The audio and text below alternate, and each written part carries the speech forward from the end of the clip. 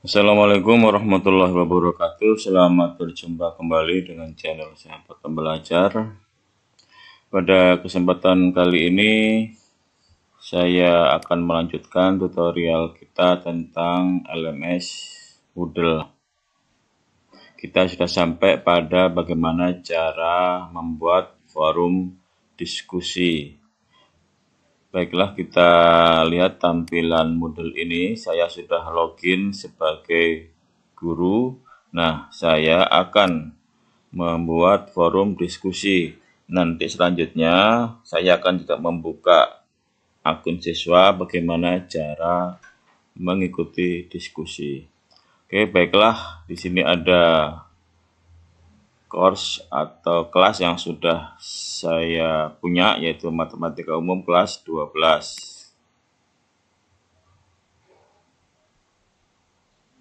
Nah, sebelumnya selalu klik ini untuk menghidupkan mode ubah. Jadi turn editing on.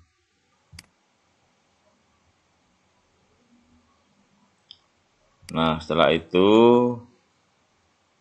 di topik kaidah penjajahan yang ditambahkan aktivitas atau sumber klik add an activity or resource.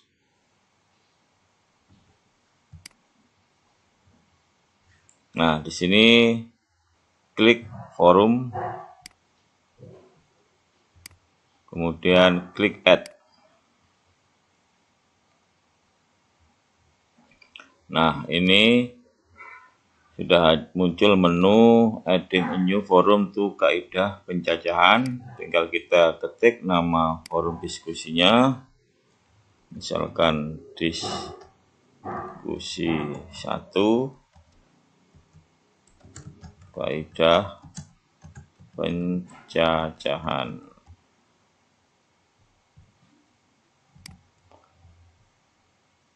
Untuk memberikan topik diskusinya bisa langsung diketik di description. Misalkan ini adalah topik yang perlu didiskusikan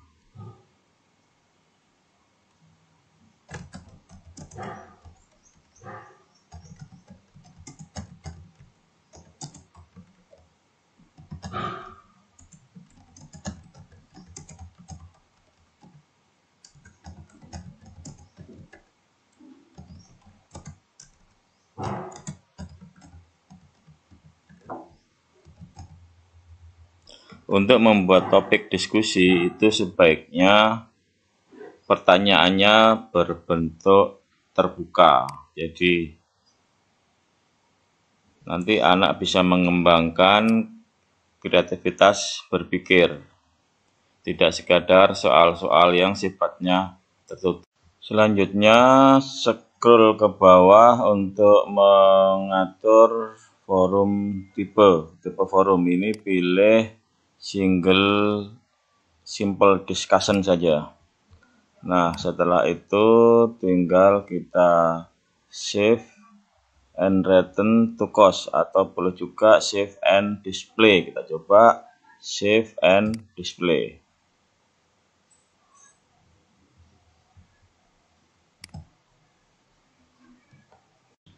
Perhatikan ini sudah muncul Diskusi satu yaitu kaidah penjajahan. Ini adalah topik atau soal yang didiskusikan yaitu kapan menggunakan kaidah perkalian dan kapan menggunakan kaidah penjumlahan. Kita bisa coba klik matum 12 kita lihat tampilan secara keseluruhan ya sini ada materi berupa link, ini materi berupa Word, ini ada topik tugas, ini kemudian topik diskusi. Nah, supaya uh, pengelolaannya teratur, berikanlah topik. Ini sudah ada topik tugas, ya. Ini sudah ada materi tapi belum ada topiknya. Gimana cara menambahkan topik? Klik saja ini kemudian klik label ya. Label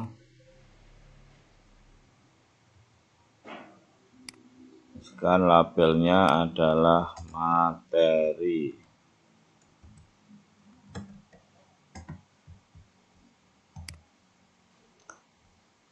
Save and return to cost. Nah, ini naikkan ke atas. Di atas materi.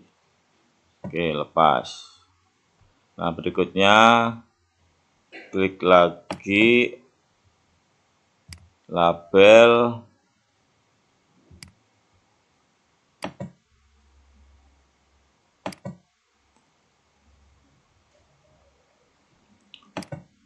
berikan label diskusi.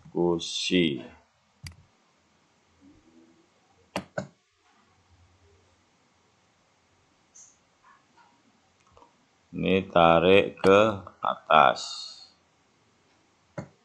Nah, sekarang sudah materinya sudah terorganisir dengan baik. Materinya ada dua, kaidah perkalian dan kaidah penjumlahan. Tugasnya ada satu, yaitu tugas satu kaidah perkalian, diskusinya ada satu yaitu diskusi tentang kaidah pencacahan. Nah, demikianlah cara mengatur label atau topik sehingga dapat dikategorikan mana yang merupakan materi, mana yang merupakan tugas, mana yang merupakan diskusi. Nah, selanjutnya kita coba masuk sebagai siswa.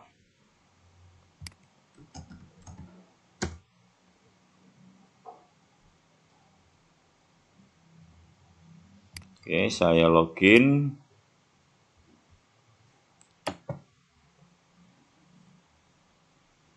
Nah, saya masuk sebagai Ajuniati 20 MIPA 1. Di sini ada course atau kelas matematika umum kelas 12. Nah, di sini sudah muncul diskusinya, langsung bisa kita ikut memberikan jawaban atau nimbrung. Selanjutnya klik diskusi satu kaidah pencacahan. Nah, di sini sudah ada topik forum diskusi yaitu tentang kaidah pencacahan. Ini adalah soalnya kapan menggunakan kaidah perkalian dan kapan menggunakan kaidah penjumlahan. Topik ini dibuat oleh Mufatkur Rahman sebagai guru. Oke, bagaimana cara siswa ikut menjawab atau ikut nimbrung? Klik saja topik diskusinya di sini. Kemudian klik replay. Ya, di sini ada replay. Klik maka silahkan menjawab di sini ya. Misalkan kaidah perkalian digunakan bila kejadiannya berpasangan sedangkan kaidah penjumlahan kejadiannya tidak berpasangan. Nah, setelah itu klik post to forum.